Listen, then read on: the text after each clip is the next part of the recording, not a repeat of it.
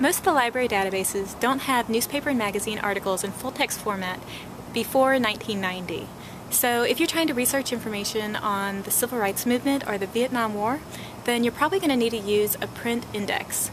Print indexes will give you um, a listing of all the newspaper and magazine articles that were published during a certain year, organized by topic.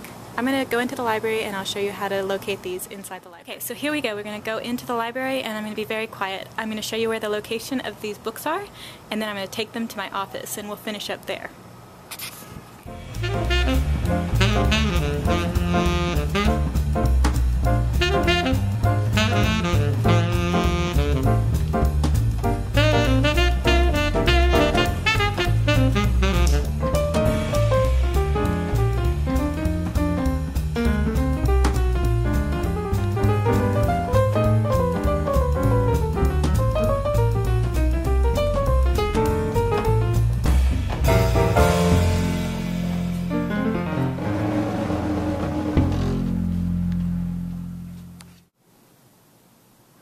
Now that you know how to find the print indexes in the library, let's talk to you about two of our favorites.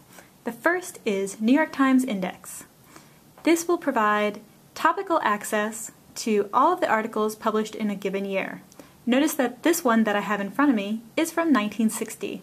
This means that if I were to look up articles on the civil rights, I would be looking up articles under the title Civil Rights, and it would list all the articles on civil rights that were published in the New York Times in 1960. The second source that I really like to use is the Reader's Guide to Periodical Literature. This doesn't cover just one source, it covers several sources that were really relevant to consumers and politics during the 20th century. Notice again, like the New York Times, each volume covers a specific date range. So this one only provides articles that were published between March 1965 to February 1966. Again, it has an alphabetical listing of topics, kind of like a dictionary, where you just flip through the pages and locate your topic alphabetically. Once your topic is found, for instance, the civil rights or African Americans, then you should be able to see all the articles that were published in each of the publications that this Reader's Guide to Periodical Literature covers. One word of caution with both of these, if you are studying the civil rights, keep in mind that African American is a relatively new term. For these two publications, we recommend that you use the word Negro.